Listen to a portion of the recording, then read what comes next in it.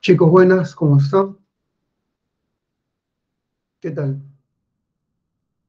A ver, estamos preparándonos para la última clase. La clase empieza a 10 y 5, como ustedes ya saben. Hola, Ángela.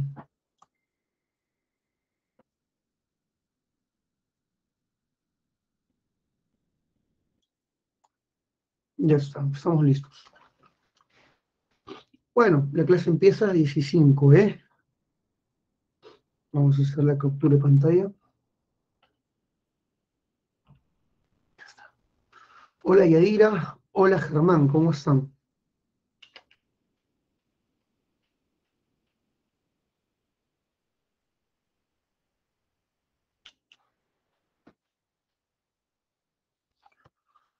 A ver. 10 y 5 en punto, empezamos la clase. El día de hoy vamos a hablar del gobierno más radical de nuestra historia, que es el gobierno de las Fuerzas Armadas, el gobierno revolucionario de las Fuerzas Armadas, que es como se autodenominaron. Este gobierno va a durar 12 años, ¿eh? Y estos 12 años van a estar divididos en dos etapas. La primera etapa, del 68 al 75, está representado por Juan Velasco Alvarado, este general que llega al poder haciendo un golpe a, a, a Belaunde, ¿no? En el 68. Con el golpe de Estado del 3 de octubre de 1968, Velasco irrumpe en el poder derrocando al gobierno democrático de Fernando Belaúnde Terry. De eso hablamos en la clase anterior. Su gobierno, conocida como la primera fase, se caracterizó por la aplicación de un conjunto de reformas, reformas que buscaban transformar la estructura socioeconómica del país, que querían industrializar el Estado peruano, modernizarlo. A ese paquete de reformas de Velasco algunos autores la han llamado las reformas nacionalistas. Otros autores las llaman las reformas estructurales. Otros las llaman las reformas desarrollistas, pues promovían la industrialización del país. Lo cierto es que Velasco, conocido también como el chino, ¿ah? le decían el chino Velasco, gobernó siete años. Su gobierno se puede definir como un septenato.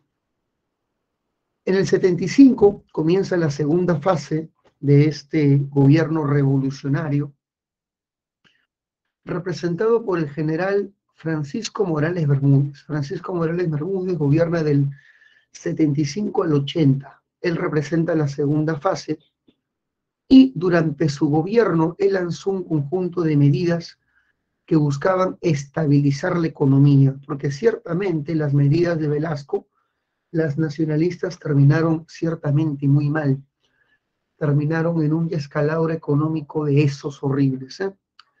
Así que para estabilizar la economía, eh, Morales Bermúdez lanza un programa de estabilización llamado el Plan Tupac Amaru. Entonces tenemos dos planes. El de Velasco es el Plan Inca y el de Bermúdez es el Plan Tupac Amaru. En el 80 los militares se han dado cuenta que su revolución ha sido un proyecto fallido y se retiran a los cuarteles y Belaunde restablece la democracia en su segundo gobierno. Esta es la línea cronológica de lo que viene a ser el gobierno revolucionario de las Fuerzas Armadas. Ahora vamos a otra cuestión. ¿Por qué Velasco hizo su golpe de Estado? ¿Cuáles son las causas para este golpe? Bueno, la causa más notoria fue el fracaso de las políticas reformistas de Belaunde. Belaunde había prometido una serie de reformas tributarias, la solución del problema del petróleo, una reforma agraria. Sin embargo, su gobierno fracasó en distintas líneas. Hubo crisis política debido a su confrontación con la oposición, hubo una crisis económica, una terrible devaluación en el 67, hubo crisis social, las guerrillas del MIR que se rebelaron contra el Estado en Cusco, entonces el gobierno hacía agua por todos lados. Por lo tanto, fue el fracaso del reformismo de Belaunde, lo que generó este famoso golpe. Los militares dijeron, ¿no? Si los civiles no pueden hacer las reformas, nos toca a nosotros hacerlas, pero por la vía autoritaria. Bueno, existe otra causa más. En las elecciones del 69, el favorito para ganarlas era el APRA. Y los militares siempre han tenido un recelo y un veto histórico contra este partido. Así de que los por eso es que los militares hacen un golpe de Estado para neutralizar al APRA y evitar su ascenso al poder. Esa es otra causa para el golpe. Esa es otra causa para el golpe. ¿eh? Listo. Velasco llega al Palacio de Gobierno el 4 de octubre, un día, bueno, el 3 de octubre, en realidad, el golpe fue en la madrugada del 3 de octubre, y Velasco a eso de las 5 de la tarde desciende con su helicóptero, ingresa al palacio y anuncia el origen de su régimen. ¿Cuáles son las características del gobierno de Velasco? Como primera característica podríamos decir que su gobierno fue un gobierno autoritario, fue ciertamente una dictadura. ¿eh? Una dictadura que eliminó las instituciones democráticas, durante su gobierno no hubo parlamento, la prensa fue controlada por el Estado, el Estado expropió la prensa, el Estado eliminó el poder electoral, no hubo sistema de partidos, el poder judicial también fue suprimido. Por lo tanto, Velasco irrumpió y eliminó las instituciones que promueven una democracia y su gobierno ciertamente es una dictadura, es un régimen autoritario, pero es un dictador populista, un dictador que algunos han llamado dictador de izquierda. ¿Por qué? Porque sus grandes reformas querían solucionar, reivindicar a las grandes masas trabajadoras, sus grandes reformas buscaban liberar a los campesinos y a los obreros del dominio de la oligarquía y del imperialismo. Así que es un dictador populista. ¿Cuál era su objetivo? El objetivo de Velasco era aplicar las reformas por la vía autoritaria y esas reformas serían la base para la industrialización del país, la modernización del Estado a través de reformas estructurales. ¿eh? Aplicadas por la vía autoritaria, ciertamente por la vía de la fuerza. Ya está. Hemos hablado acerca del el objetivo general. Ahora, hijo mío, debes saber que Velasco recibió mucho apoyo del CAEN. Tú sabes que el CAEN fue el Centro de Altos Estudios Militares, fundado por la época de Odría, y tú recuerdas que el CAEN, hijo mío, se llenó de oficiales reformistas, oficiales que tenían hambre de transformar la realidad de nuestro país. Velasco va a contar con el apoyo de estos oficiales del CAEN, que habían desarrollado la famosa doctrina de seguridad nacional. Según esta famosa doctrina, no se puede evitar la subversión si no se combate las causas de las injusticias, que es el subdesarrollo y la explotación y le toca al ejército intervenir directamente en la solución de estos grandes problemas nacionales. Según esta doctrina, el ejército debe tener una acción directa, una participación más activa en la solución de la problemática nacional, porque si esta problemática no se soluciona, se mantienen las causas de la insurgencia, y eso sería la base de la revolución social. Así que para evitar una revolución hay que eliminar las causas de la insurgencia y si los civiles no pueden, pues le toca al ejército intervenir directamente en la solución de esta problemática. Esa es la doctrina llamada seguridad nacional. Muy bien. La participación más activa de las Fuerzas Armadas en la solución de los grandes problemas del país. Listo. Ahora, ¿qué tipo de economía establece Velasco? Velasco establece un capitalismo de Estado. En un capitalismo de Estado hay una hegemonía de la inversión pública sobre la privada. El Estado toma el control de las áreas más estratégicas de la economía. Me refiero a la minería, la pesca y el petróleo. Y el Estado convierte las empresas privadas y extranjeras en empresas estatales, las empresas públicas, a través de las expropiaciones, esto es muy importante, a través de la estatización. Muy bien. El Estado, a partir de ese momento, tras controlar los medios de producción, permitirá, permitirá que exista la inversión extranjera y privada, pero subordinada a la inversión pública. Entonces, el capitalismo de Estado promueve el control estatal de las principales áreas productivas del país, de las áreas estratégicas, pero manteniendo la empresa privada y extranjera, aunque en un nivel bastante reducido, ¿eh? bastante reducido. Ese es el capitalismo de Estado, el Estado gestor, el Estado empresario. Ahora, ¿por qué el Estado debía controlar petróleo, pesca, minería para obtener ingresos y dedicar esos ingresos a la industrialización?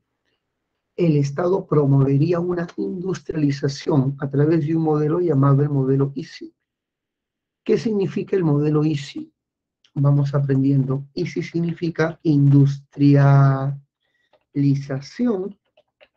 por, por sustitución de importaciones. Ahí está. Ese es el proyecto ICE, proyecto de industrialización por sustitución de exportaciones. ¿En qué consiste? En que la industrialización la dirige el Estado, el cual prioriza el desarrollo del mercado interno hay que promover el desarrollo del mercado nacional. Y para eso el Perú tiene que evitar la llegada de las importaciones. ¿Cómo evitarlas? Con fuertes barreras arancelarias.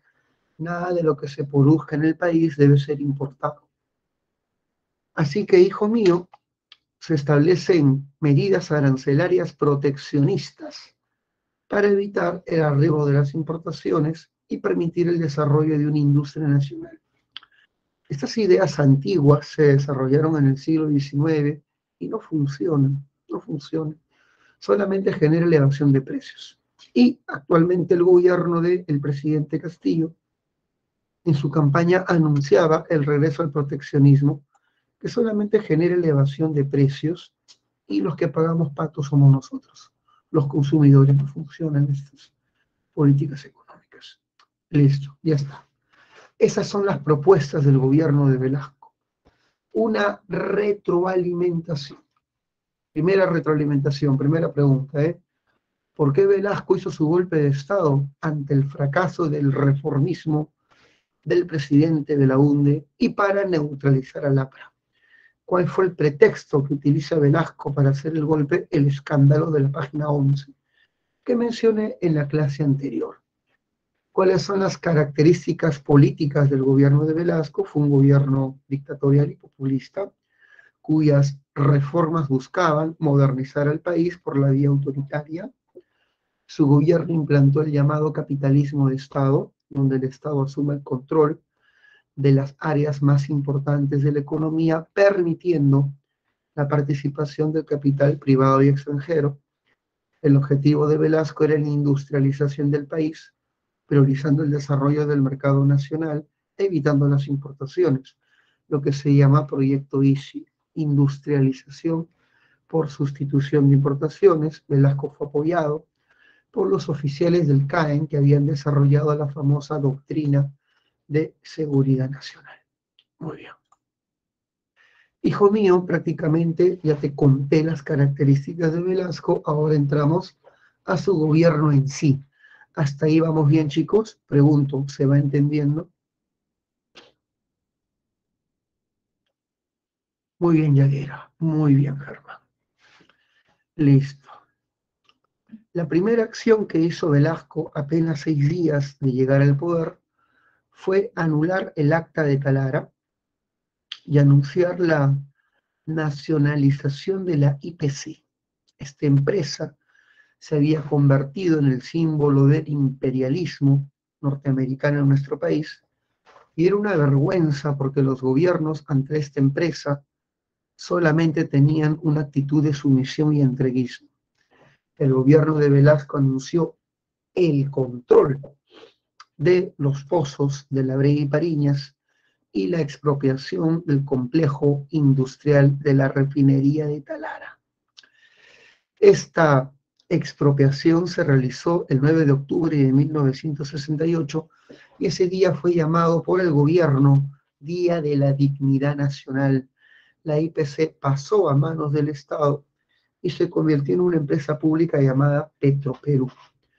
Sin embargo, Estados Unidos no va a permitir que un gobierno, por más nacionalista que sea, atente contra sus empresas privadas y amenazó con aplicar la enmienda Hinken-Loper. ¿En qué consiste la enmienda Hinken-Loper? Una famosa enmienda en la que Norteamérica corta apoyo económico y asesoría financiera a todo país que expropie una de sus empresas sin pagar una indemnización justa. Así que el gobierno de Velasco, para evitar el corte del crédito norteamericano, decidió pagar por lo bajo, soterradamente, hasta el último centavo de la IPC.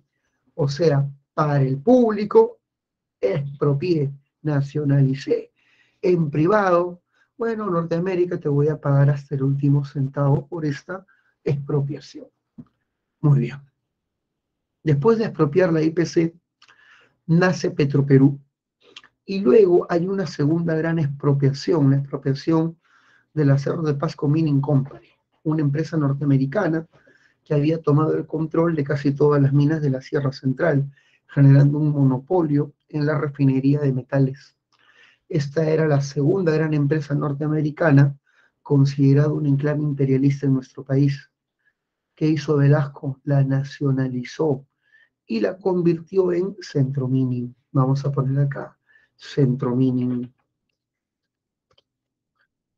Otra de las grandes nacionalizaciones de Velasco fue la expropiación de la Marcona Mining. La Marcona Mining se encontraba en Ica, explotaba hierro.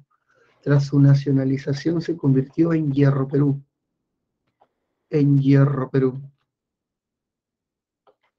Y estas fueron las más representativas de muchas expropiaciones. Tal vez la expropiación más terrible fue la expropiación de la industria pesquera. ¿Por qué fue terrible? Porque no tenía justificación ideológica. La industria pesquera no estaba en manos del capital extranjero, estaba en manos de empresarios peruanos.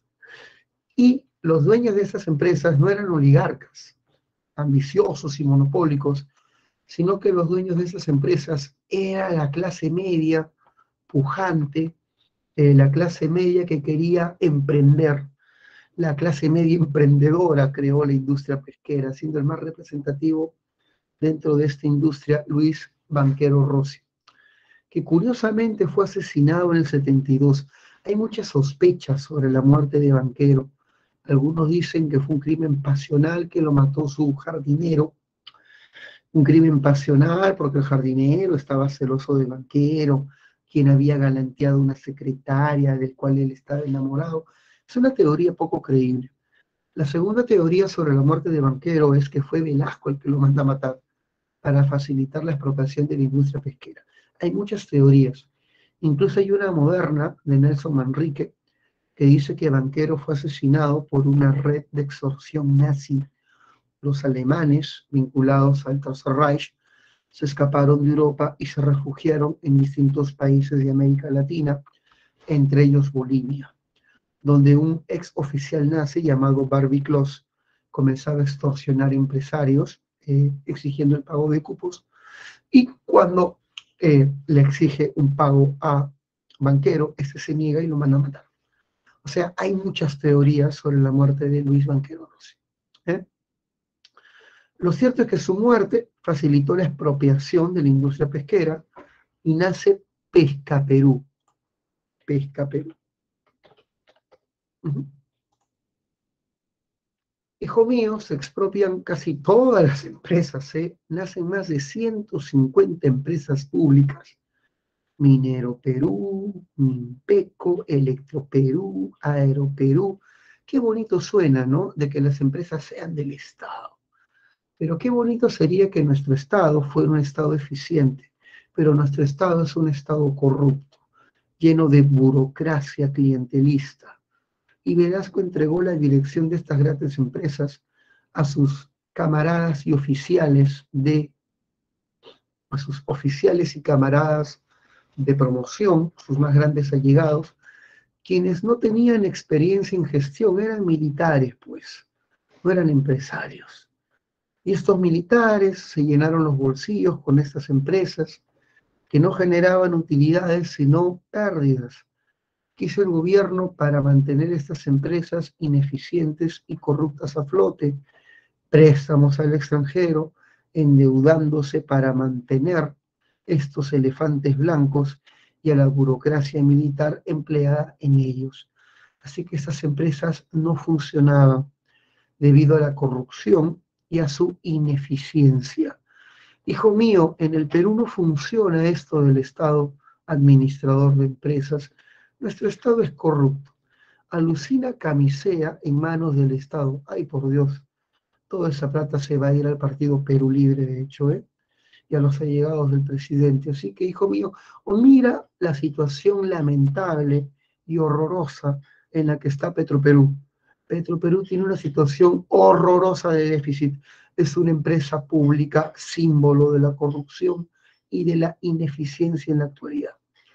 Muy bien, así que esto no funciona, por más nacionalismo que hay en tu corazón, no funciona en nuestro país.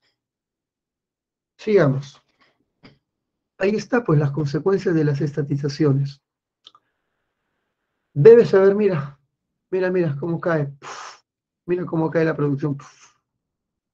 Es que nuestro país, el Estado, es un terrible gestor por nuestra rica corrupción. La corrupción corre por las venas peruanas. Qué horrible. Qué rico robarle al Estado, ¿no? Bueno, por otro lado, hijo mío, la reforma agraria. La reforma agraria fue la medida más importante del régimen, la más anunciada y, la de mayor impacto. Esta reforma se aplicó el 24 de junio del 69. ¿Por qué el 24 de junio? Porque era el Día del Indio, que Velasco renombró con el nombre del Día del Campesino. La reforma agraria tenía por objetivo transformar el régimen de propiedad rural transformar el régimen de propiedad agraria para evitar la revolución social en el campo. Hijo mío, las experiencias guerrilleras previas abrieron los ojos al gobierno de que los campesinos miserables y pobres tomarían los rifles y comenzarían una revolución social como la que pasó en Cuba. Así que Velasco no quería que se replicase esa experiencia revolucionaria en el Perú y decidió reformar el sistema de propiedad para evitar la revolución social. Ese era el objetivo.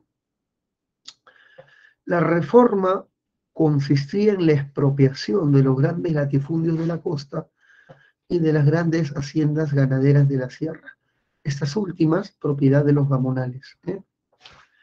Y se hizo en medio de grandes propagandas ahí tenemos un cartel publicitario de la reforma agraria.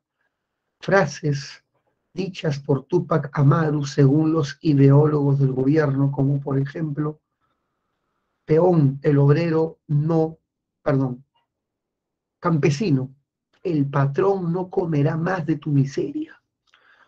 Otra frase famosa, la tierra es para quien la trabaja frases atribuidas a Tupac Amaru que ciertamente Tupac Amaru nunca dijo, pero que fueron inventadas por los ideólogos del régimen para darle legitimidad a su gran reforma. Muy bien, Tupac Amaru se convirtió en el símbolo de la reforma agraria. Listo. ¿Cuáles fueron las consecuencias de esta reforma? Velasco no le iba a entregar la tierra a los campesinos a través de parcelas. Velasco no quería parcelizar las haciendas y entregárselas a los campesinos. Eso sería un error para él. ¿Por qué? Porque ibas a eliminar lo que se conoce como la capitalización de las haciendas. Las haciendas eran unidades productivas eficientes.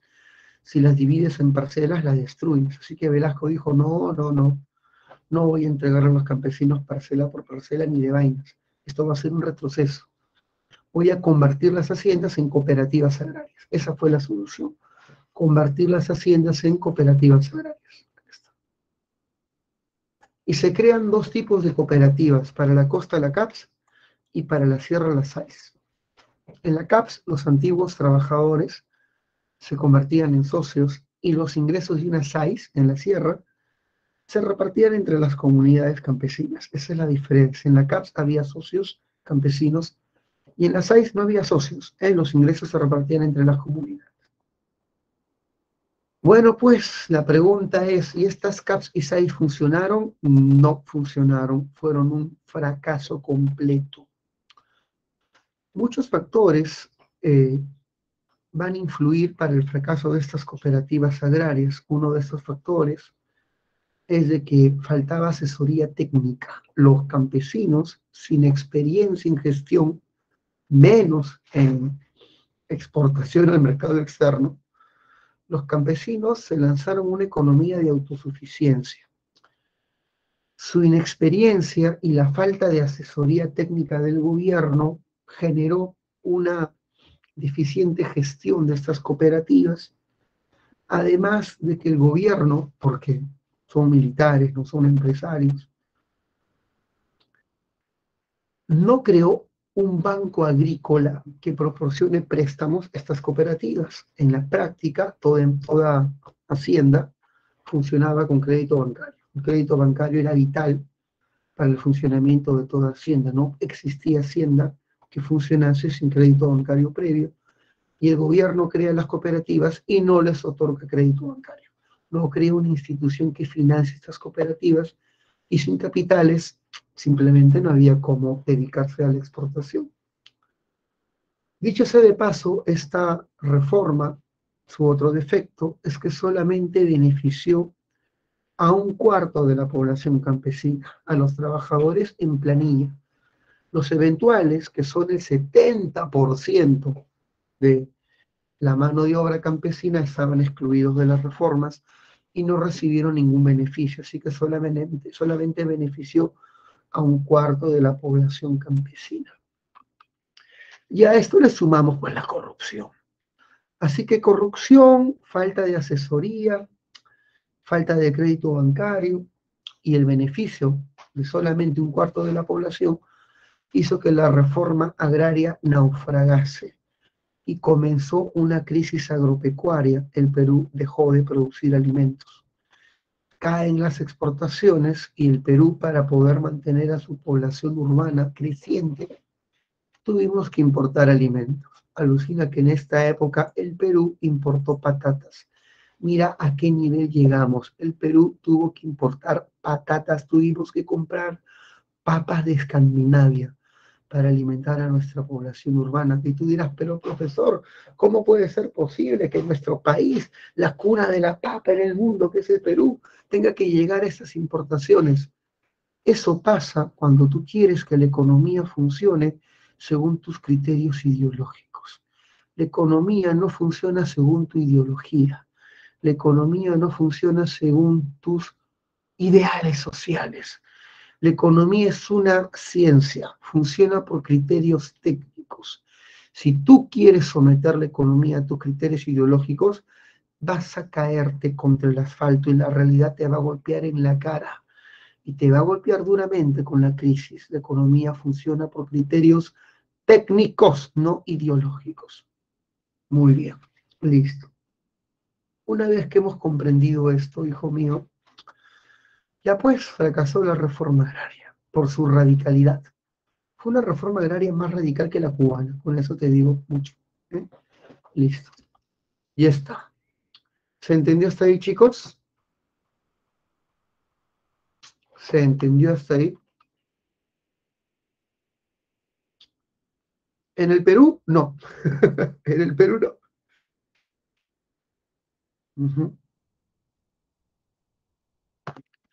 En el Perú no funciona muy bien. Listo. Una vez que hemos entendido esto, ahora pasemos.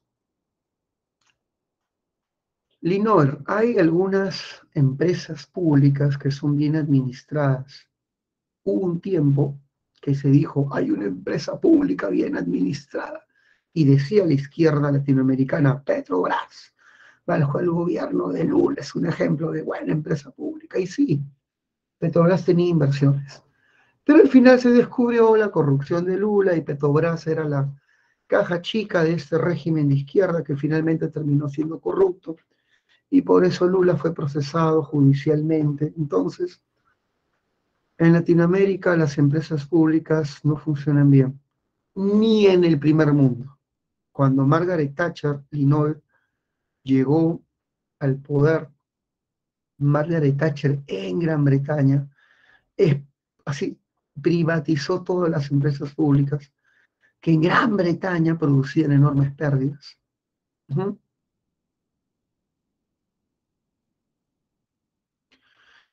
este, Linol, suena bonito esto de que esta empresa quede en manos del Estado.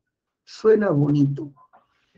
Pero en términos de eficiencia, la empresa pública peruana siempre es bastante corrupta y genera pérdidas. Suena bonito ideológicamente. Pero la pregunta es, ¿tú puedes vivir de la ideología? Creo que no, ¿verdad? Las personas viven de la eficiencia. Y los estados más ricos del mundo son estados eficientes. Y la eficiencia siempre viene de la inversión privada. Porque cuando una persona tiene su empresa y hay gente que lucra con ello, pues se lanzan de corazón y alma a que ésta funcione de la manera más óptima, generando más utilidades, incrementando la cobertura. Pero cuando eso no es tuyo, le pertenece al Estado, ay, qué rico, voy a lucrar con esto. Total, no es mi empresa. ¿Se entiende, Linor? O sea, ideológicamente suena muy bonito. En la práctica genera solamente deudas y deficiencia. Muy bien. Pasemos al plano internacional.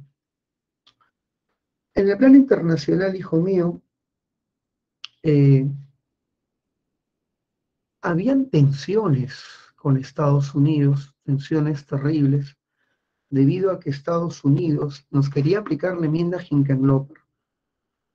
Lo que pasa es que Velasco expropió dos atuneras, dos atuneras que estaban pescando en nuestras 200 millas, Velasco las expropia, lo cual es correcto, porque no tienen derecho a ingresar a, nuestra, a nuestro mar con soberanía nacional. Y Norteamérica nos quiere aplicar la enmienda Hinkenlock. ¿Y qué hizo Velasco? Ah, me quieren cortar el crédito. Bacán. Me acerco a los países de la órbita comunista. Y Velasco se acercó a la URSS y a los países de Europa y Oriente, como Checoslovaquia, Polonia y Rumania, y a Cuba. La Unión Soviética nos va a dar bastante armamento a cambio de ventajas comerciales. Vamos a recibir mucho apoyo militar de los países de Oriente, tanques checos, eh, carros de transporte militar rumanos, la Unión Soviética nos dio mucho apoyo militar. Nos dio, según algunos estudios, tanto apoyo militar como el equivalente al que recibió Vietnam del Norte. Bastante apoyo. Y Cuba nos va a apoyar, hijo mío, con médicos, y ciertos asesores, básicamente en estas reformas de tipo nacionalista. Hay una famosa foto donde sale Velasco junto a Fidel, eh, fumándose ambos un habano. Sin embargo, hijo mío, el presidente Velasco no es tonto. Velasco se acercó a los países socialistas, pero no fue socialista. Se acercó a los países socialistas sin ser de esta ideología. Es más, para demostrar su vocación de autonomía, Velasco se pliega al movimiento de países no alineados, anunciando su rompimiento con la alineación norteamericana y soviética al mismo tiempo. Ni capitalista ni socialista, mi camino es el nacionalismo, decía Velasco. Debes saber que al comienzo Velasco recibía tenía mucha simpatía con el gobierno chileno en manos de Salvador Allende, que era un gobierno de izquierda, como el suyo. Sin embargo, Allende cayó ante la irrupción de un general golpista que defendía los intereses de la oligarquía y de Estados Unidos en el país, Augusto Pinochet.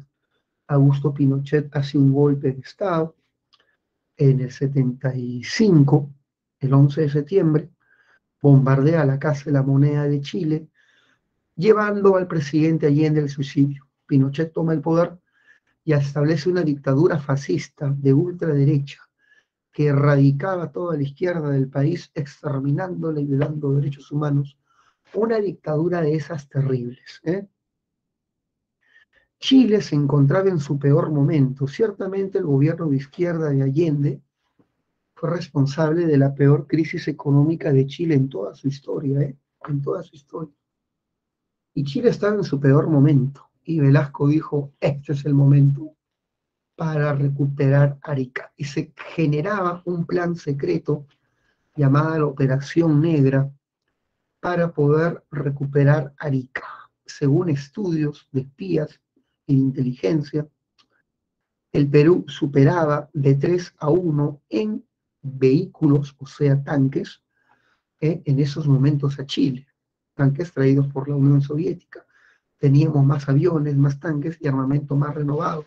O sea, el Perú superaba a Chile en esos momentos en términos militares y era el momento de poder invadir Chile. Pero, lamentablemente, vino el golpe de Francisco Morales Bermúdez. Vino el golpe de Bermúdez que derrota a Velasco y este proyecto de recuperar Arica quedó trunco. Y tú dirás, ¿y por qué Bermúdez es un golpe? Es un loco. Lo que pasa es que la situación ya era insostenible. Antes de hablar de las crisis que llevaron al gobierno de Velasco a su caída, hablemos de algunas medidas políticas que este presidente desarrolló diarios como el comercio, la prensa y el correo criticaban sus medidas que ellos consideraban como preámbulos al comunismo. Velasco decidió cortarle la lengua a la burguesía y ese es el discurso de todo dictador. ¿eh? Todo dictador odia la prensa libre. Y su clásico discurso, le estoy cortando la lengua a esta prensa mediática, en manos de los grandes poderes fácticos, en manos de la oligarquía, porque yo vengo del pueblo y por lo tanto esta prensa traidora y basura debe ser eliminada. Eso lo dice todo dictador de izquierda, hijo mío, en todas partes del mundo. No se crean el floro barato, por favor. ¿eh? Se lo dice un historiador que ha visto distintas situaciones en distintas partes del mundo. Y esa es la justificación común simplona de todo dictador de izquierda. Muy bien, y quiso Velasco de inmediato expropió estos medios y anunció su sociabilización. Velasco dijo, yo voy a entregar el comercio a los campesinos, el correo a los obreros, la prensa los profesionales. Floro nunca lo hizo, ¿eh? nunca lo hizo. Quedó en manos del régimen, en manos de un grupo de periodistas adictos al régimen que justificaban las reformas. Por otro lado, Velasco se dio cuenta que no tenía respaldo popular, que a diferencia de un partido político no tenía militancia y no se veía el respaldo a sus reformas. Así que Velasco decidió crear un organismo que promueve el respaldo de la gente a sus reformas. Ese organismo se llamó el SINAMOS. Se llamó el SINAMOS. Sistema Nacional de Movilización Social. Este famoso organismo, dirigido por el gobierno, dirigido por el oficial velasquista Leónidas Rodríguez, tenía por objetivo captar el apoyo popular y movilizarlo a favor del régimen. Tuvo mucho éxito en los barrios marginales de esa época, Villa El Salvador, Villa María del Triunfo, en los pueblos jóvenes tuvo mucho éxito. Pero los gremios y sindicatos bien organizados no querían vincularse sin amos porque implicaban ser parametrados por el gobierno. Así que al no querer ser controlados por el régimen, estos sindicatos y gremios más importantes se mantuvieron ajenos a el SINAMOS. Muy bien. Velasco, a través de legislación, crea la ley de la comunidad industrial. Según esta famosa ley, buscaba sociabilizar las empresas. Las empresas debían entregar hasta un 15% de sus acciones a sus empleados.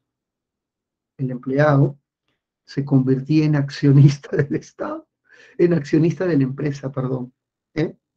Por ser trabajador, recibo el 15% de las acciones, qué rico, y recibo el 10% de las utilidades. Uy, qué bonito suena para el trabajador. Pero te pregunto, la economía no funciona por criterios ideológicos, funciona por criterios técnicos.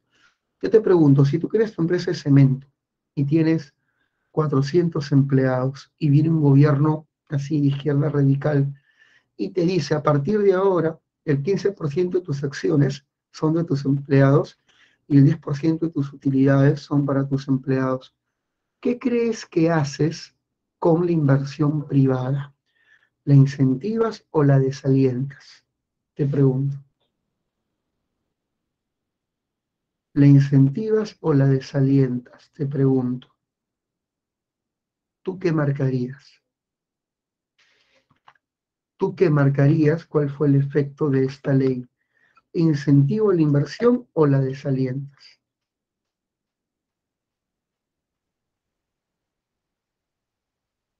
Claro, pues, la desalientas. La inversión privada se largó del país. La inversión extranjera se largó del país. Sin inversión privada y extranjera tienes crisis. No hay trabajo. Hijo mío, a todo esto se le suma una buena reforma educativa. ¿eh? Esta reforma fue planeada por un filósofo peruano llamado Augusto Salazar Bondi. Este filósofo, efectivamente, consideraba que la sociedad se debía transformar a través de la educación, lo cual es correcto.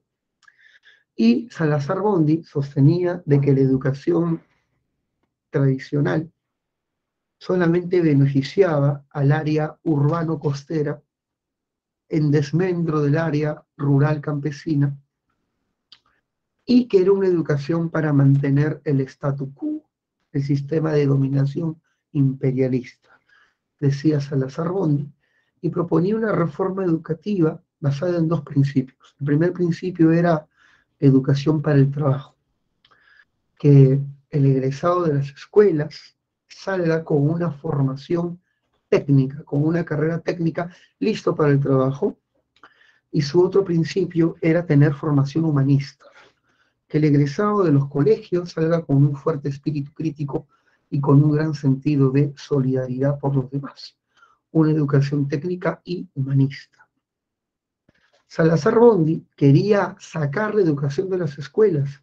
Tenemos que crear otras áreas para la formación del alumnado. Las fábricas deben ser centros de educación, también los talleres, también la televisión, también la radio a este principio se le llama la descolarización, o sea, sacar la educación solo de las aulas y trasladarla a otras áreas.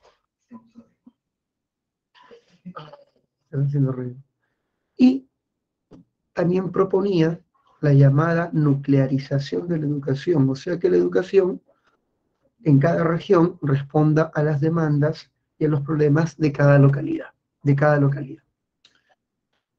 Fue una reforma agraria, una reforma educativa bastante interesante, ¿eh? bastante compleja también, pero no se aplicó. ¿Y por qué no se aplicó? Porque el gobierno quería imponerla de manera autoritaria, sin consultar con los profesores, sin consultar con el magisterio. Y el magisterio se opuso a ella con grandes huelgas y protestas. Ya está. ¿Por qué acabó el gobierno de Velasco? ¿Qué salió mal? Una de las causas para su caída fue la crisis del petróleo de 1973, la crisis de los energéticos a nivel global. Esta empezó allá en el lejano oriente y afectó al Perú, reduciendo fuertemente nuestras exportaciones, sobre todo mineras, que eran las más importantes. Esta crisis internacional vino agravado con el excesivo gasto público, porque un Estado que sigue criterios ideológicos no es eficiente se tenía 150 empresas públicas y teníamos 670 mil funcionarios trabajando. Por Dios, qué peso tan monstruoso de burocracia. El Estado se gastaba buena parte en gastar, buena parte en mantener la burocracia y mantener a flote sus empresas ineficientes. Para mantenerlos a flote, deuda externa. El Estado se endeudó, se endeudó con países extranjeros y nuestra deuda pasó de 110 mil a 3.191 mil soles. La deuda se multiplicó exponencialmente durante este gobierno. ¿eh? Una deuda enorme, un gasto enorme, los gastos militares excesivos. Ese es el problema de colocar la ideología en la administración. Y debes saber que finalmente, hijo mío, la crisis explotó en el 75. En el 75 la crisis, ah, y por supuesto, sin inversión privada y extranjera, tienes todos los ingredientes para un desastre económico. En el 75, hijo mío, eh, comienza una huelga, una huelga de la Guardia Republicana, que era el cuerpo policial más importante de la época. ¿Y por qué hace huelga? Pues se huelga, obviamente, porque no recibían salarios, pues, no había salarios. Pregunto, si el cuerpo policial hace huelga, ¿qué crees que va a ocurrir en Lima? Hijo mío, comienza una ola de saqueos, el pandemonio. En medio de esta ola de saqueos y huelga, el régimen se despedaza y Velasco se enferma. Le da un aneurisma a la aorta. Y finalmente lo llevan a operación. Los médicos cubanos dan el informe de que tienen que amputarle una pierna y le cortan la pierna. Con un Velasco enfermo, con una economía destruida, con huelgas y saqueos, este gobierno ha fracasado. Y se prepara un golpe de Estado promovido por Estados Unidos. Este golpe de Estado va a ser propiciado por la CIA en colaboración con la derecha militar, con la Marina. Y ese golpe de Estado permitirá el ascenso del general Francisco Morales Bermúdez. Este golpe se realiza en Tacna y se llama el Tacnazo. El Tacnazo. Ya está. Chicos, terminé. El gobierno de Velasco. ¿Se entendió? ¿Se entendió? ¿Vamos bien?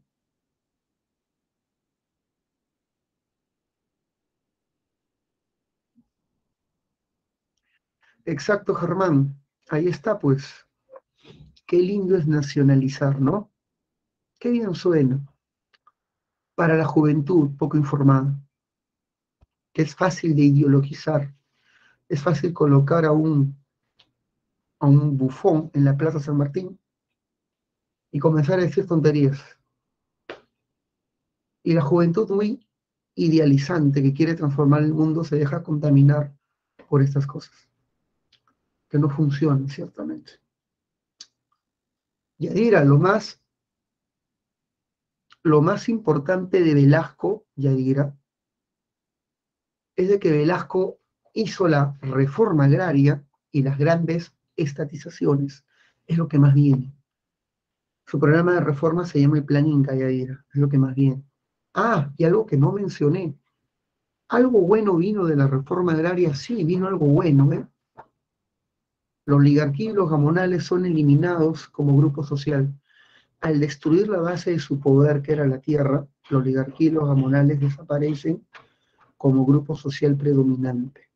Creo que es el único saldo bueno, porque ciertamente los gamonales mantenían un sistema de trabajo servil y la oligarquía ciertamente gobernaba a espalda de las grandes mayorías.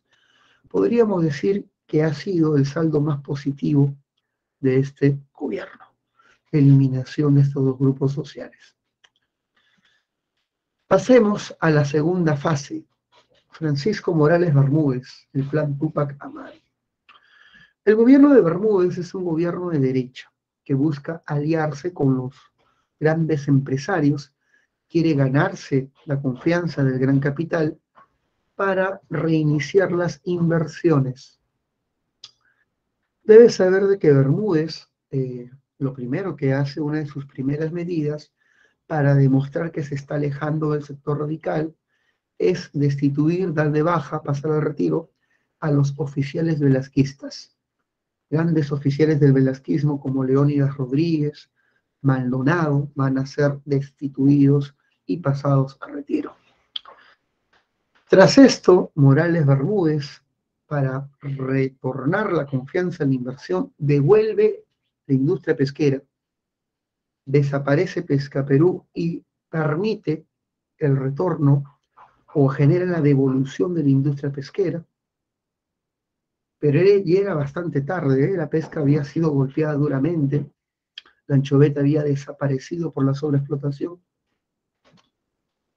y quiere ganarse la confianza del Fondo Monetario Internacional y del Banco Mundial. Fondo Monetario, dame préstamos, dame platita, por favor, estamos mal. El Fondo Monetario, ¿qué le dice? Ah, ah, después de hacer tu experimento, ahora quieres dinero.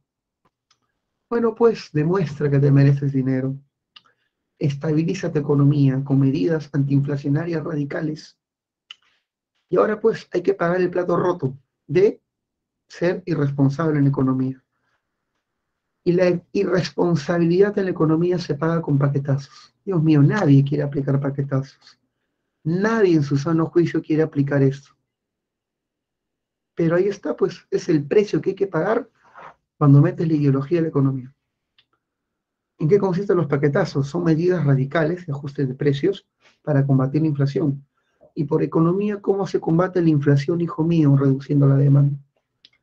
¿Y cómo se hace esto? Ay, Diosito, de evaluación monetaria del 50%, elevación de precios del 60%, reducción de salarios elevación del precio de los combustibles. Nadie quiere aplicar estas medidas, pero es lo que se tiene que hacer para combatir la inflación y es producto de hacer experimentos. Pues. Muy bien. ¿Y eso fue lo que pasó? Horrible.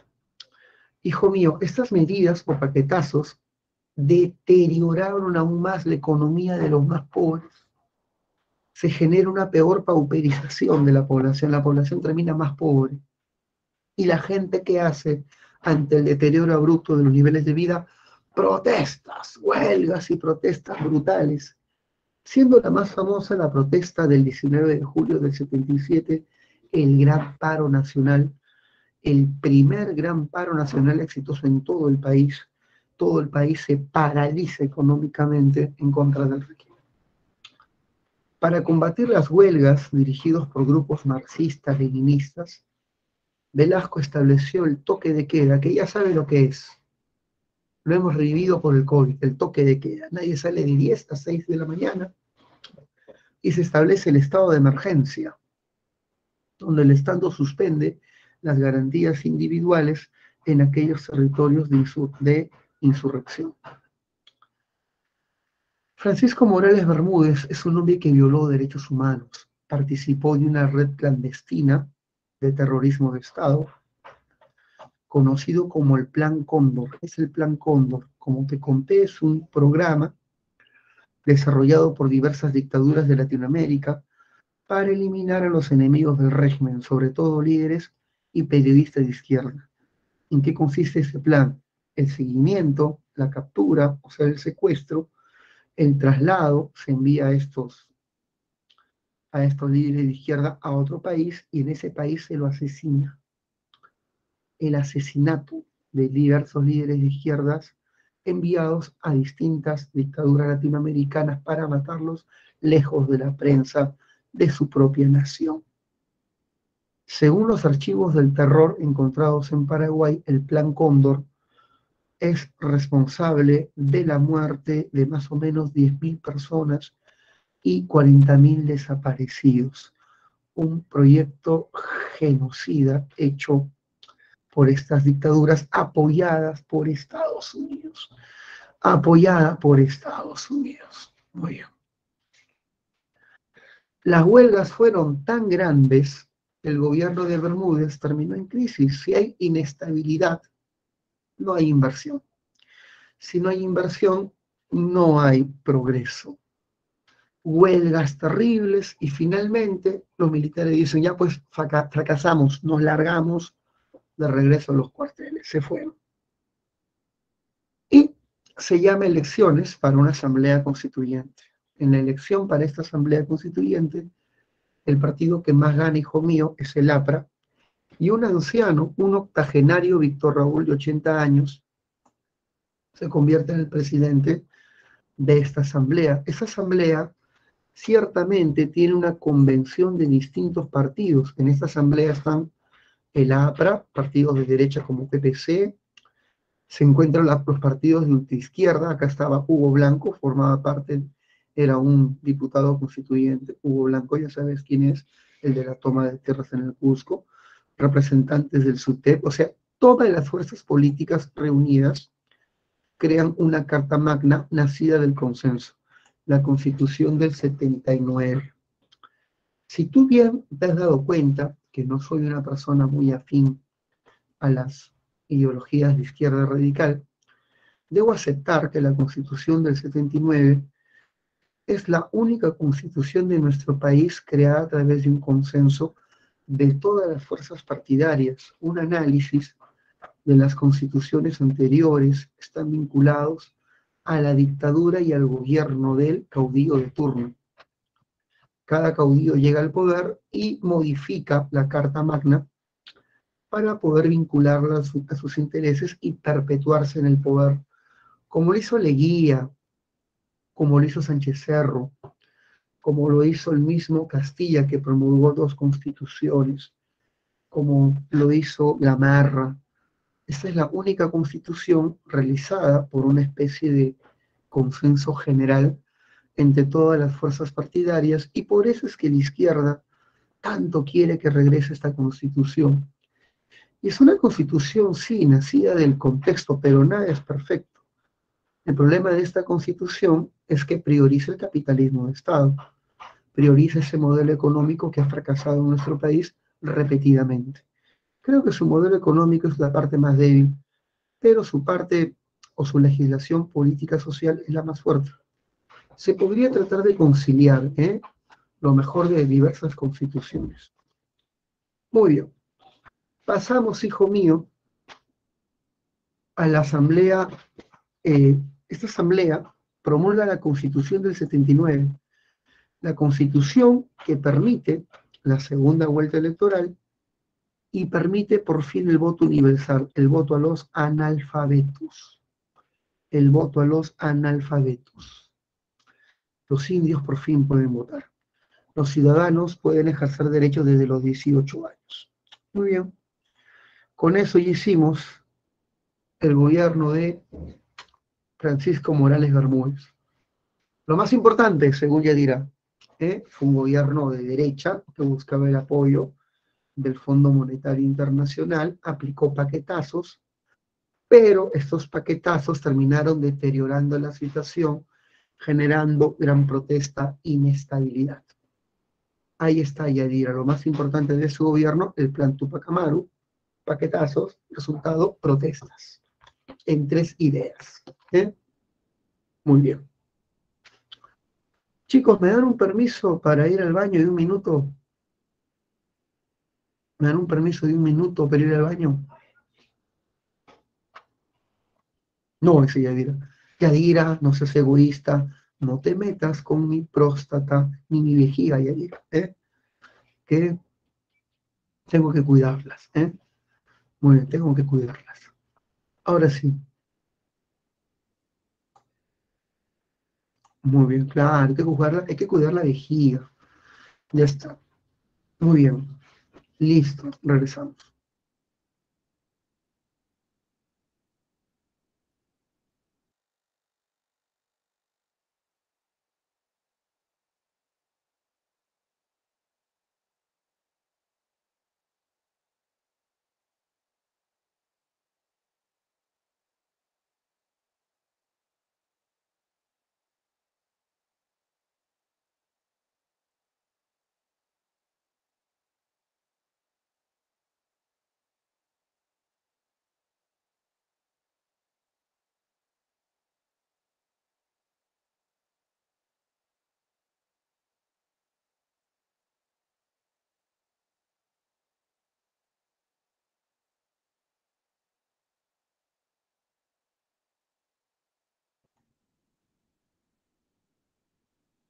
Ya está. Regresamos rápidamente, ¿eh? Fui corriendo, fui corriendo. Fui corriendo. Muy bien. Fue algo veloz, impresionante. Ahora sí, los años 80. los años 80. Para Latinoamérica, los años 80 es una década perdida, perdida. Para Estados Unidos es su etapa de crecimiento, donde volvieron a ser el gran país alguna vez fueron. Hablemos de los años 80. Linor habla del rock. Claro, el mejor rock aparece en esta época, pues, ¿no? Aparece en esta época. El mejor rock. Kiss, es la época del pop grande, Michael Jackson, Madonna. Al finales de los 80 aparece Nirvana también. Metallica, ¿eh? Claro que sí. Indochina, grandes grupos legendarios. En el Perú aparece Río, aparece Hash. Muy bien. Pedrito Suárez. A ver, comencemos con los años 80. Eh, Belaúnde Terry gana las elecciones de 1980, se las gana Lapra. Víctor Raúl Aya de la Torre había muerto. Su enterramiento fue presenciado por una multitud gigantesca. Su muerte fue uno de los eventos más sensibles en la historia política reciente. Tras la muerte de Aya de la Torre, el poder lo toma eh, el Zapatón, el famoso, ¿cómo se llamaba el Zapatón? Villanueva, Villanueva, el Zapatón. Sin embargo, Villanueva no tenía el carisma ni el poder de convocatoria, Armando Villanueva del Campo, no tenía la convocatoria que tenía el difunto Aya y Belaunde se lleva la elección de los 80 con su partido Acción Popular. Belaunde llega al poder y su gobierno representa ante todo el retorno a la democracia tras 12 años de dictadura militar. Su primera medida fue la devolución de los medios de prensa a sus respectivos dueños. Firmó el decreto ley y con ello la prensa volvió a ser libre y restituida a los medios de prensa independientes. Su régimen, que es un régimen democrático, buscaba, hijo mío, ante todo, contar con el apoyo de los organismos financieros internacionales. Quería contar con el apoyo del Banco Mundial, del Fondo Monetario Internacional, y estos le propusieron que implante una economía liberal ortodoxa, cosa que Belaunde aceptó.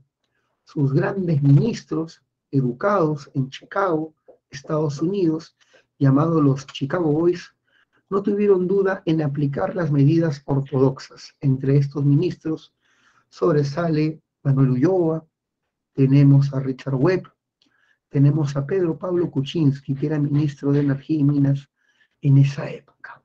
Muy bien.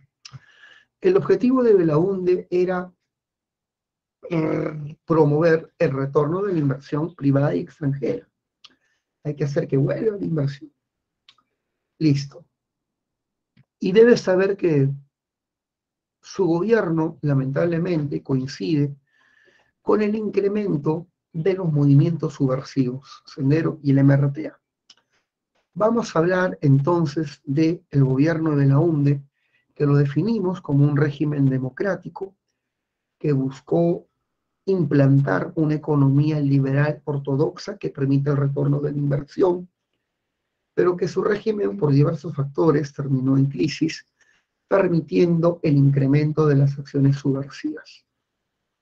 Comencemos con una de sus primeras medidas, la restitución de las elecciones municipales. En las elecciones municipales del 80 participa un candidato famoso, un candidato que representa a, todas las izquierdas unidas en un frente político. Ese movimiento se llamaba Izquierda Unida. Actualmente, diversas izquierdas del país han, han intentado formar un frente único también, el Frente Amplio, dirigido por Verónica Mendoza en su momento. Ya se disolvió el Frente Amplio. Pero la Izquierda Unida fue ese intento de integrar a todas las diversas izquierdas, superando sus pequeñas diferencias ideológicas para presentarse como un bloque unificado. Izquierda Unida estaba dirigida por el famoso Frijolito. Su verdadero nombre era Alfonso Barrantes Lingán. Abiertamente marxista-leninista, Alfonso Barrantes gana las elecciones y se convierte en el primer alcalde marxista del Perú. Su gobierno ciertamente fue un gobierno municipal bastante aceptable. Desarrolló programas sociales dirigidos a apoyar a los más pobres, como el famoso vaso de leche que fue su programa más representativo. En este programa se proporcionaba desayunos a los niños en edad escolar de los pueblos jóvenes. El famoso vaso de leche. Frijolito demostró que la izquierda, bien encaminada, bien correcta, bien ordenada, podía desarrollar un gobierno eficiente entre las mujeres, bueno, entre las colaboradoras que más apoyaron a Alfonso Barrantes, estaba una joven, Susana Villarán, que podríamos decir que era su alumna política e ideológica. Pero que cuando llegó a ser alcaldesa cayó en la corrupción de OAS y hoy en día está procesada por actos de corrupción. ¿eh? Villarán se demoró mucho para hacer sus primeras obras públicas, por eso es que Carlos Álvarez se burlaba de ella, diciendo, ella quiso ser un frijolito, pero terminó siendo una lentejita, ¿eh? por lo lenta que no sé si entendieron la broma. ¿eh? Muy bien. Bueno, ya saben quién es Alfonso Barrantes, frijolito, primer alcalde marxista del Perú, el vaso de leche. Por otro lado, debes saber de que las medidas económicas del equipo llamado los Chicago Boys fueron eficientes. El Estado hizo una reforma monetaria implantando el INTI como nueva moneda para superar la devaluación. El Estado aplicó las medidas liberales ortodoxas implica devaluación de moneda, pero para que la gente no sienta estas devaluaciones, se hicieron de manera lenta y progresiva las famosas mini devaluaciones. Además, los Chicago Boys propusieron, hijo mío, reducir el gasto social para que el Estado tenga fondos. Por ejemplo, se redujo el gasto en educación, se redujo el gasto en salud, se redujo el gasto en pensiones y el Perú redujo los subsidios. Con todas estas medidas, el Fondo Monetario dijo, bueno, están haciendo las cosas bien, ¡pum! préstamos. Y nos dio un préstamo fuerte. Un préstamo. En esta época la inversión extranjera regresó, regresó la Belco Petroleum Company a sacar petróleo de la selva. Y el Perú vive un pequeño ciclo exportador, una especie de repunte en las exportaciones, y empezamos bien este gobierno, ¿eh? Cosa que el Fondo Monetario nos da un rico préstamo y con ese préstamo comienzan obras de gasto público. El Perú compra armamento, eh, aviones Mirage a Francia y misiles Exocet para poder enfrentarnos posiblemente un eventual conflicto con Chile o con Ecuador. El Perú comienza una política de gasto público construyendo las famosas torres de Limatambo en San Borja, este famoso complejo habitacional se construye la represa Gallito Ciego en Cajamarca, se creó un proyecto de irrigación en la costa norte llamado Chavimochica, claro que sí. Y debes saber que buena parte de esta plata, lamentablemente, se gastó de manera inútil para mantener a la burocracia. 670 mil empleados públicos era la herencia de la época de Blanco. ¿Por qué Belaunde no lo despidió? Porque eso sería impopular, pues no despedir a la gente, promover, promover desempleo y protestas no era algo que él quería. Así que mantuvo esta burocracia y buena parte de la plata se fue en eso. Sin embargo, ese gobierno, hijo mío, vivirá coyunturas externas importantes, coyunturas internacionales como la guerra con Ecuador, la guerra del 80, la guerra del falso Paquicha. Como ustedes saben, la guerra con, el Ecuador, la guerra del 41, terminó con el protocolo de paz y amistad de Río de Janeiro, que cerró buena parte de las fronteras, con excepción de una pequeña brecha muy difícil de demarcar, porque era una brecha inaccesible, cordillera del Cóndor. Y en ambos lados de la cordillera habían puestos peruanos y puestos ecuatorianos.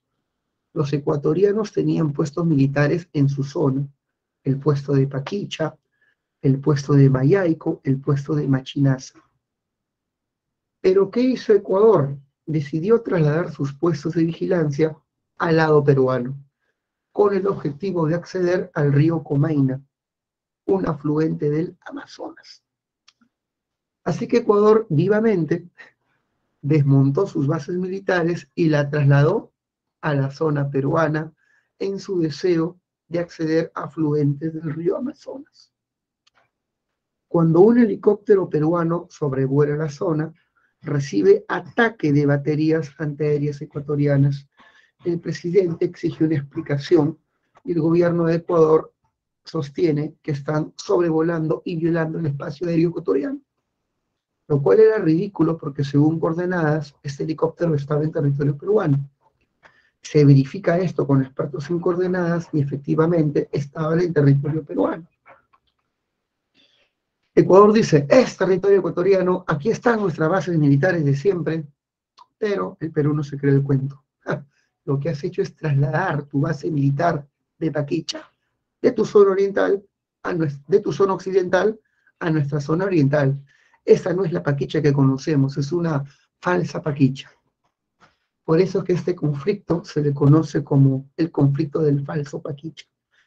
El Perú no requirió más que unas cuantas semanas para votar a esas tres bases ecuatorianas. Tomamos Paquicha, Machaico, Machinaza y expulsamos a los ecuatorianos, pero Ecuador crea tres nuevas bases más en nuestro territorio y el conflicto se iba para algo más serio. Sin embargo, no llegó más debido a la intervención de la OEA. La OEA y los países garantes del protocolo del Río de Janeiro intervienen y ordenan la desmilitarización de la zona en conflicto, haciendo que ambas, ambos países vuelvan a establecer sus bases militares de uno y del otro lado de la cordillera.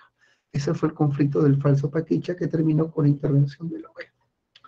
Muy bien. Sigamos.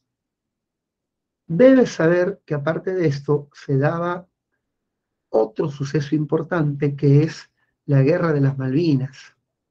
Esta guerra se daba en el 82 entre Argentina y Gran Bretaña. Argentina, en manos de un gobierno militar dirigido por Fulgencio Galtieri, vivió una crisis económica horrorosa. Su crisis económica buscaba ser desviada, colocando la atención de la opinión pública en un tema de tipo nacionalista. El gobierno militar argentino era un desastre en economía, pero venían ganarse el apoyo de la gente con una medida nacionalista, la recuperación de las Islas Malvinas de manos del Imperio Británico. Los británicos llamaban estas islas las Islas Falkland. Y todo empezó en el 82 con una operación militar argentina, la Operación Rosario, que los llevó a ocupar las islas y expulsar a la población británica de la zona casi 2.000 kilómetros separaban al territorio eh, británico de las Islas Malvinas. Sin embargo, la nueva líder de Gran Bretaña, Margaret Thatcher, líder del Partido Conservador Británico, llamada la Dama de Hierro en su país, la que implantó el modelo neoliberal y vendió todas las empresas públicas deficientes y corruptas al capital privado, ¿sí? decidió mantener el control de estas islas y envió su flota, empezando la guerra de las Malvinas. Argentina es muy valiente, ¿ah? porque se está peleando a la segunda potencia más grande de la OTAN, después de Estados Unidos. Y había posibilidad de ganar, debido a que Gran Bretaña estaba muy lejos, sus bases de abastecimiento estaban muy lejos de la zona de conflicto. Así que había una posibilidad por la lejanía geográfica para la Argentina. Sin embargo, Gran Bretaña solicitó apoyo de Estados Unidos porque este forma parte de la OTAN. Pero Argentina también pidió apoyo a Estados Unidos porque Estados Unidos formaba parte del brazo armado de la OEA llamado el TIAR. Ya no existe el TIAR. Tratado Interamericano de Asistencia Recíproca. ¿En qué consistía este bloque? Que los países de Latinoamérica recibirían apoyo de Estados Unidos en caso de una agresión de potencia extranjera. Y está.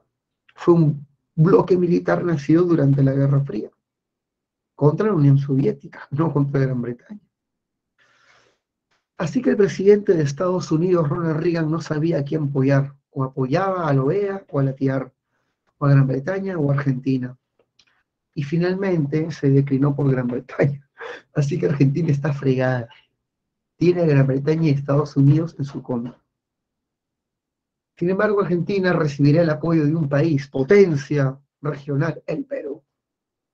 El Perú apoya a la Argentina dando aviones Mirage franceses y misiles perforantes Exocet para atacar los destructores británicos.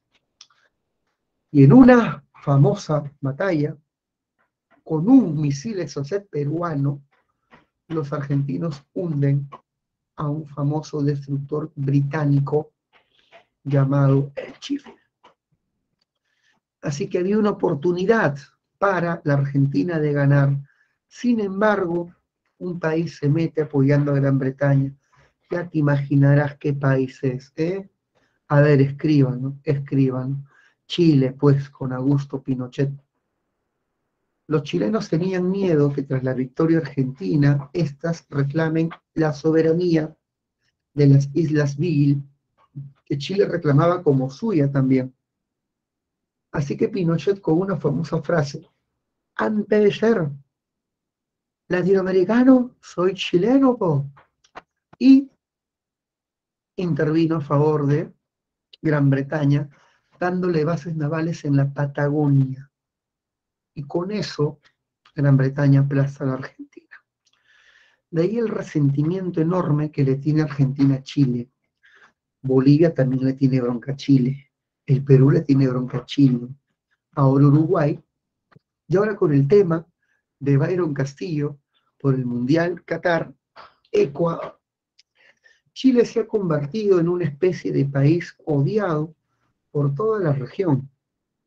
En el mundo, hay un país similar que se lleva mal con todos sus vecinos, Israel, odiada por todos los países que la rodean, que son musulmanes árabes. Chile es como la Israel de Oriente, la Israel de Sudamérica, odiada por todos los países de la zona. Es más, creo que hasta el Océano Pacífico los odia, por eso hay tanto maremoto en este país, ¿eh? tanto maremoto. Muy bien. Por otro lado, hijo mío, eh, pasemos a lo que viene a ser, bueno, pero todo es en plan de sorna, ¿eh? en plan de broma. Cada país tiene derecho a decidir sus posturas geopolíticas, pero de que caen chinches y caen chinches, ¿eh? eso es otra cosa. Muy bien, comienza la crisis de la deuda latinoamericana. Esta crisis empezó en el 82 en México, debido a que los países de Latinoamérica no podían pagar sus préstamos al Fondo Monetario Internacional debido a la reducción de sus exportaciones y al incremento de la importación.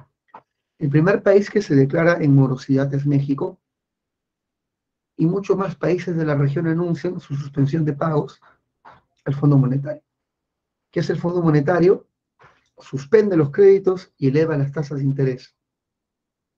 Todo esto tiene un efecto negativo en la inversión privada extranjera y en las exportaciones, haciendo que la región Latinoamérica viva una década de crisis. Así que la crisis de la deuda se le suma a los gastos militares con Ecuador y a esto se le suma el fenómeno del niño del 83 el gobierno es golpeado por esta crisis de la naturaleza. Uno de los peores fenómenos del niño que se recuerden. ¿Se acuerdan de la niña que golpeó al Perú en la época de Kuczynski, ¿se acuerdan de la niña?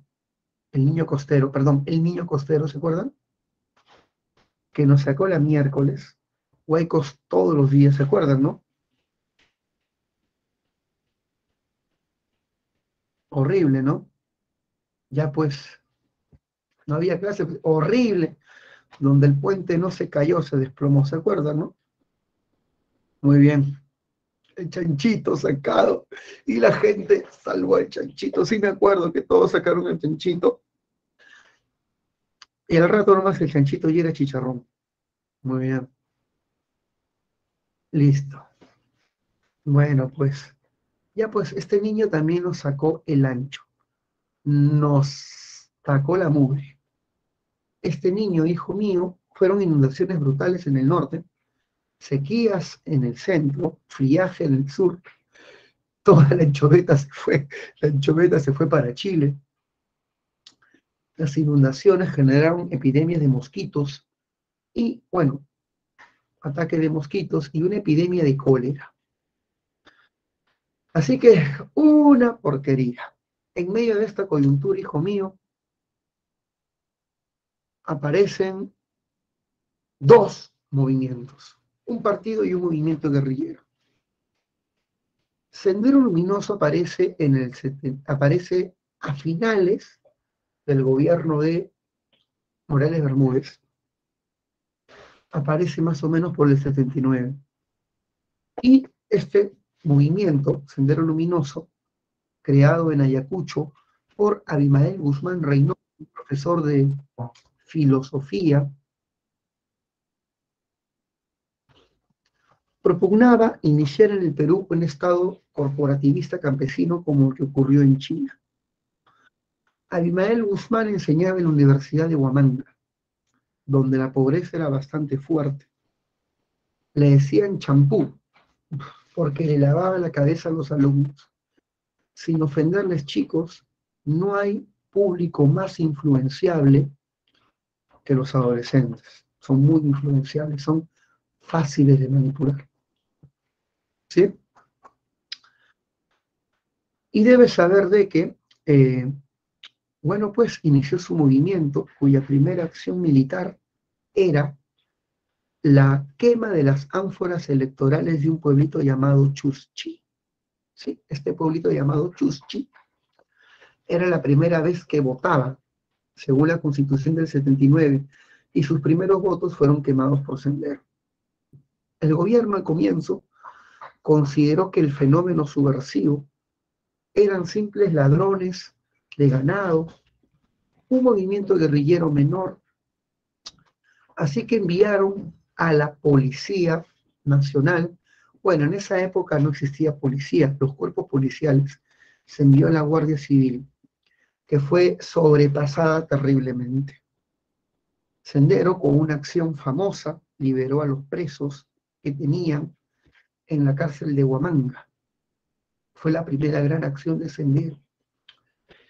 El gobierno reconoció que es una insurgencia guerrillera de mediano nivel, así que envió a las Fuerzas Armadas y declaró el estado de emergencia, lo cual fue terrible, porque en el estado de emergencia, hijo mío, que se suprimen las libertades civiles y se dio violaciones a derechos humanos. Muchos campesinos fueron catalogados de manera injusta de subversivos y fueron ejecutados en el acto, enterrados en fosas comunes. Muchos campesinos murieron producto de la violencia senderista y de las Fuerzas Armadas, que de forma reactiva golpeaba con palos de ciego en su desesperación. ¿Eh? Muy bien. Debes saber que eh, Aparte de, ah, y en esta época Sendero comienza sus primeras masacres sobre la población campesina. En un pueblo llamado Lucanamarca, un líder senderista fue capturado y ejecutado por la gente que no quería vincularse con este grupo. Y Abemael Guzmán Reynoso, que se proclamaba la cuarta espada del marxismo, el presidente Gonzalo se hacía llamar, envió un grupo de aniquilamiento quien captura a la población y le ejecuta en la plaza de la del pueblo. A unos les cortaron con machetes, a otros les metieron balazos, a otros los prendían fuegos, a otros los ahorcaban, a una mujer embarazada, le abren el vientre con machetes, el feto cae al suelo y pisan al feto en el suelo. Un acto sanguinario insano que habla del fanatismo y el genocidio de este movimiento radical y asesino. Los campesinos también mataron periodistas, lo que pasó en Uchuracay. Uchuracay. ¿Sí? Ocho periodistas que iban a generar cobertura fueron confundidos por senderistas, por un grupo de campesinos de esta comunidad, amarrados, llevados, ejecutados y enterrados en una fosa común. Terribles violaciones a derechos humanos. ¿eh? Eso es Sendero. Sendero, por si acaso, es maoísta. Propone una revolución que empiece en el campo y que desde el campo se tome la ciudad para crear un estado corporativista campesino parecido al que está en China por Mao. Es maoísta. Muy bien. Por otro lado, el MRTA, ah, se me olvidó contarte algo, Sendero nace de las múltiples divisiones del Partido Comunista. El Partido Comunista Peruano estaba partido en una facción soviética y en una facción pequinesa. Dentro de la facción pequinesa china habían dos grupos, Patria Roja, que sigue en San Marcos, vinculado al magisterio, y Bandera Roja, vinculado a los campesinos. Abimael Guzmán militaba en Bandera Roja. Luego viaja a China, ve la revolución cultural, regresa, se separa de Bandera Roja y crea el Partido Comunista del Perú, Sendero Luminoso. Así que Sendero hunde sus raíces en las divisiones del Partido Comunista. El MRTA nace no del Partido Comunista, sino que nace de los movimientos guerrilleros, nace del MIR. ¿Se acuerdan del MIR, del movimiento de izquierda revolucionario de Luis de la Puente Uceda? Ese MIR histórico fue destruido por el gobierno de la UNDE, pero aparecen más movimientos guerrilleros que van a llevar este nombre a manera de homenaje y de reivindicación. Entre ellos aparece el MIR el militante,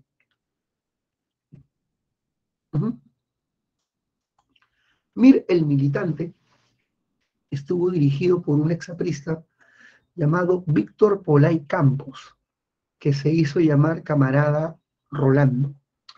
Otro líder del Mir el militante era el famoso Néstor Serpa Cartolini, camarada de Baristo. Ellos se van a unir a un partido formado por los ex oficiales de Velasco, el partido, eh, el partido socialista revolucionario marxista-leninista. Cuando el mire militante se une a este partido socialista revolucionario, la fusión de los dos hace que nazca el MRTA, Movimiento Revolucionario Tupac Amaru. Este movimiento se caracteriza por ser un movimiento marxista-leninista, pero con fuerte influencia de la revolución cubana, de la revolución cubana sobre todo. ¿eh? Ellos van a diferenciarse de Sendero por tener como técnicas guerrilleras el foquismo. O sea, no pelean en el campo, sino que privilegian la lucha urbana en las ciudades, peleas desde las ciudades, pequeños focos revolucionarios que vayan a ciudades a generar la insurgencia. Rechazan los métodos de Sendero. Para ellos Sendero es un grupo violento, insano, que atenta contra la población campesina, y ellos sostienen que la acción revolucionaria no debe ir contra los campesinos ni contra la población civil, sino contra la burguesía, dicen ellos. Así que atacan bancos, ministerios raptan a hijos de empresarios para pedir rescates por su libertad. Los emertistas inauguran la estrategia del coche bomba, colocando coches bombas en los ministerios. Su primera acción militar fue un ataque a una comisaría en Villa Salvador. Un ataque a una comisaría en Villa Salvador. Listo. Ese es el MRTA, por si acaso. Distinto a Sendero en ideología y práctica, pero también un movimiento subversivo.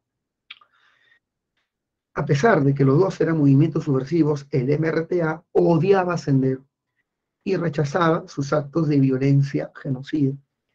Y el MRTA nunca se quiso unir a Sendero jamás. A pesar de que los dos movimientos estaban siendo arrinconados por el Estado peruano, y en la época de Fujimori nunca se unieron.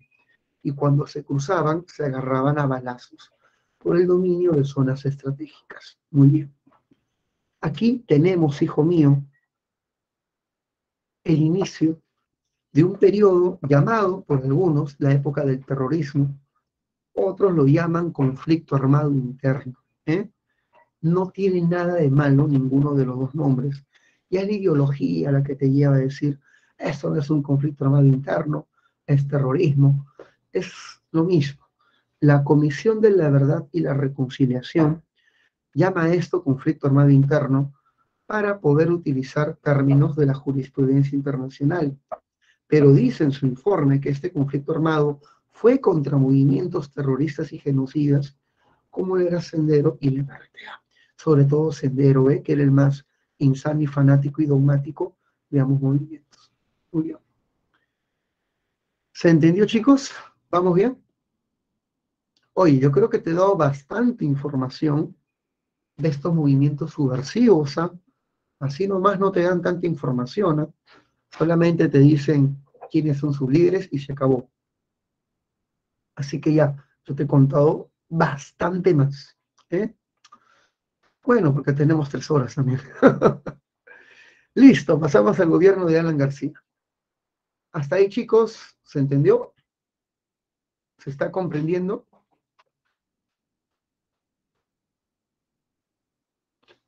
Muy bien. Ahora, chicos, vamos a un gobierno que bien podría llamarse el Apocalipsis. Primer gobierno aprista, del 85 al 90. En las elecciones del 85 habían dos candidatos fuertes, Barrantes y Alan García. Alan García había sido secretario de Víctor Raúl, fue a estudiar a París, regresa al Perú, se convierte en secretario general del partido y en su candidato. Alan García desarrolló una campaña electoral brillante, ¿eh? donde anunciaba de que su régimen priorizaría el desarrollo del país a través de la intervención estatal, debido a que las medidas ortodoxas habían fracasado. Él decía, las medidas ortodoxas solamente benefician a la gran empresa y a los organismos financieros internacionales. Yo voy a imponer medidas de tipo heterodoxas, promover el desarrollo del país a través de una intervención rápida del Estado, priorizando el bienestar de los más pobres a través de programas sociales. Linda la campaña, ¿eh? Linda la campaña. El APRA se mostraba como un partido sin resentimientos históricos, ganoso de trabajar por todo el país. Debes saber que Alan García, con su carisma y su oratoria, hizo que el APRA gane en las zonas donde nunca había ganado, como por ejemplo el sur del país, Cusco, y en Lima. El APRA ganaba por primera vez en Lima. Era la primera vez que el partido llegaba al poder sin intermediarios. Era la primera vez que una prista llegaba al Ejecutivo después de décadas y décadas de persecución, el primer gobierno prista. ¿Qué representa el gobierno de Alan la continuidad de la democracia?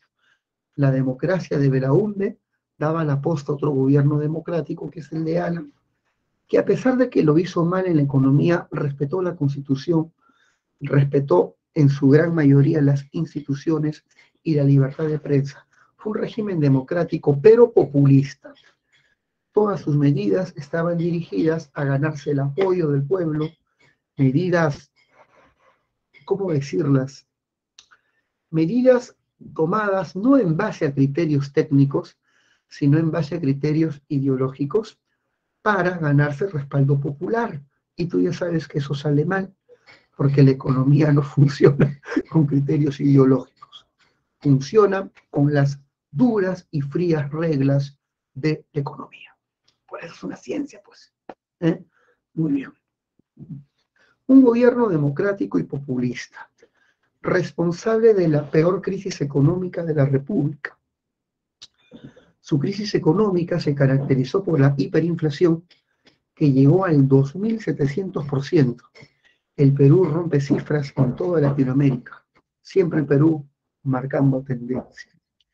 Su gobierno se caracterizó por un incremento de la corrupción descarada durante este gobierno, y también, hijo mío, se caracterizó su régimen por la expansión del movimiento terrorista.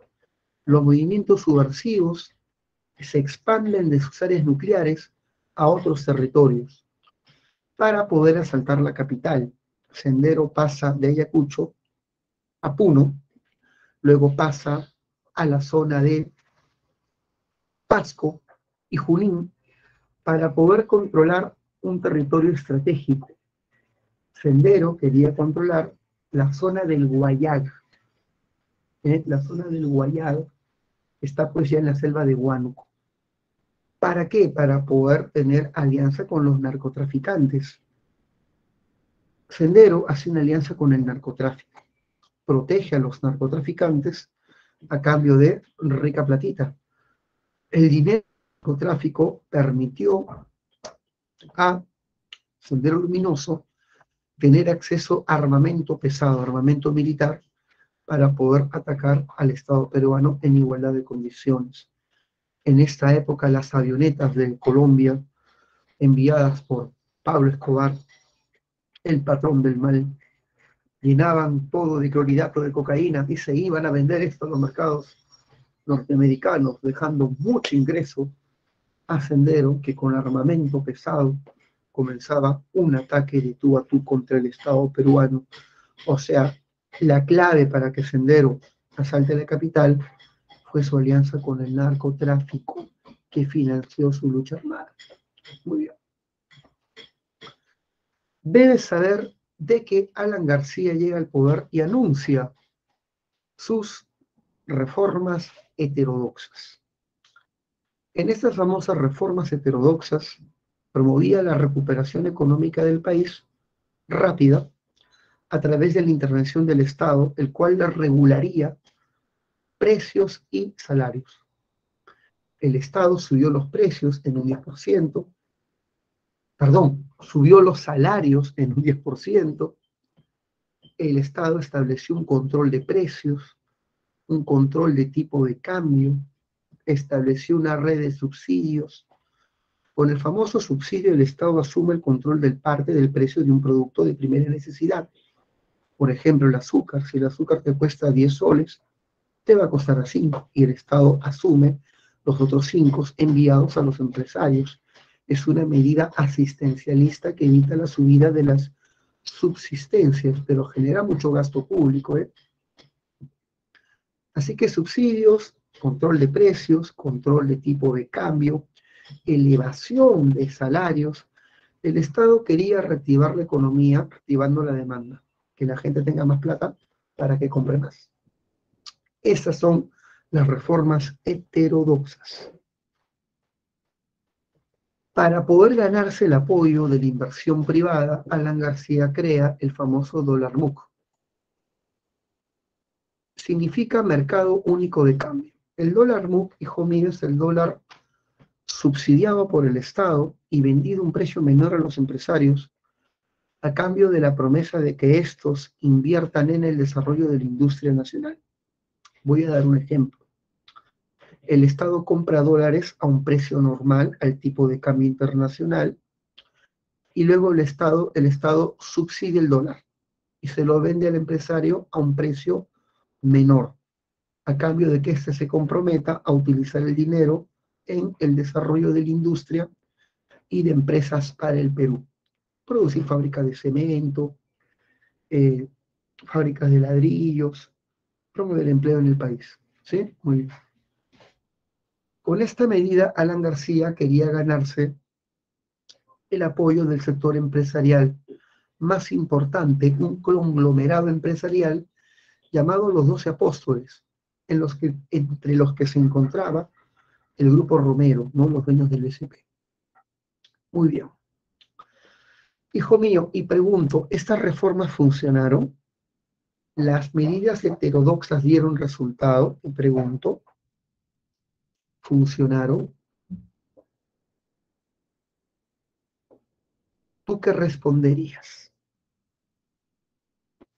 La respuesta es sí, funcionaron a corto plazo. A corto plazo se redujo la inflación, se incrementó el PBI, se redujo el desempleo. El desempleo se redujo gracias a un programa llamado el programa PAIT.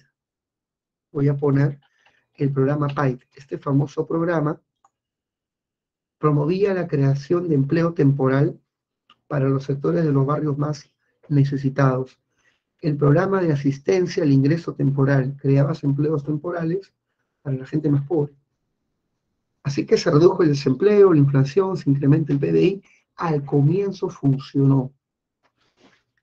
Sin embargo, estas medidas van a tener defectos que van a terminar en una crisis brutal. Ya hablaremos el por qué fracasó sus reformas. Alan García los dos primeros años gozaba de una enorme popularidad gigantesca. Es más, anunció su lucha, su lucha contra la subversión a través de un método conocido como lucha antisubversiva democrática.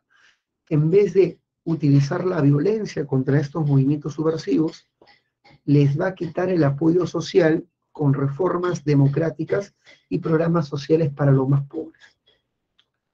Su famosa lucha antisubversiva democrática, o sea, combatió la subversión con programas sociales. Para poder combatir la subversión, Alan García decidió reorganizar las fuerzas policiales. Estas fuerzas policiales eran tres, Guardia Republicana, Guardia Civil y Policía de Investigaciones. Estaban separadas, no coordinaban entre sí y se enfrentaban entre sí, terrible, y eran corruptas. Hizo García, las integró creando la Policía Nacional del Perú. Nace la Policía Nacional del Perú, una medida importante. Otra medida de su gobierno fue destituir a los oficiales culpados de violar derechos humanos en un pueblo llamado Purayacu y en otro llamado Acobamba,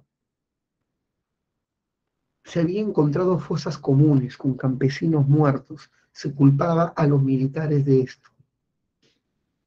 ¿Qué hizo Alan García? Destituyó a estos oficiales implicados en actos de violación de derechos humanos. Estas medidas fueron bien vistas por el MRTA. Y el MRTA, dirigido por Polay Campos, que era ex aprista y amigo de Alan, porque ambos estudiaron juntos, decidió declarar una tregua con el gobierno. El MRTA declara su tregua con el APRA.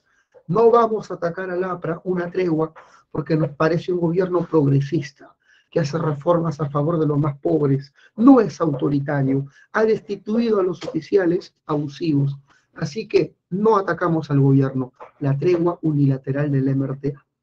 Pero Sendero no, pues Sendero es fanático, es enfermo, es dogmático, es maoísta, es insano. Y Sendero dice, ah, no, nosotros vamos a masacrar a los cuadros apristas en provincia y comienzan a matar a apristas en todo el país. Sendero comenzó el asesinato de las autoridades. Sendero mataba a los alcaldes de provincias a los prefectos, subprefectos, regidores, alcaldes municipales, consejeros. Sendero mató a miles de autoridades al interior del país. El partido que más muerte tuvo por culpa de Sendero fue el APRA. Sendero se agarró con el APRA y mataba a todas las autoridades. Nadie quería ser autoridad en provincia porque eras preso de Sendero. Nadie quería ser autoridad te cortaban la cabeza, lo lanzaban a los ríos. Así que, hijo mío, nadie quería ser autoridad. Sendero coordina una insurgencia en el 86. Las cárceles estaban en manos de la subversión. Tres cárceles eran controlados por Sendero. Eh, la cárcel de San Pedro, en San Juan de Urigancho, la de Santa Bárbara en Chorrillos y el frontón en el Callao, controlados por senderos, donde a los presos se los formaba en las doctrinas del marxismo-leninismo. Se hacían marchas y proclamas y todo estaba lleno de propaganda para la lucha popular y el presidente Gonzalo. Estos presos coordinan una insurrección conocida como la insurgencia de los penales. Capturan a personas, presentan un pliego exigiendo la liberación de más de 126 subversivos.